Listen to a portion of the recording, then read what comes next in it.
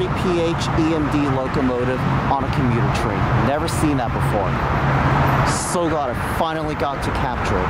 I literally saw it from Market Center Station and I just had to run all the way to Union Station and uh, take it all the way down here and film it leaving. So with that being said, there you have it. And that's going to be it. Thanks for watching.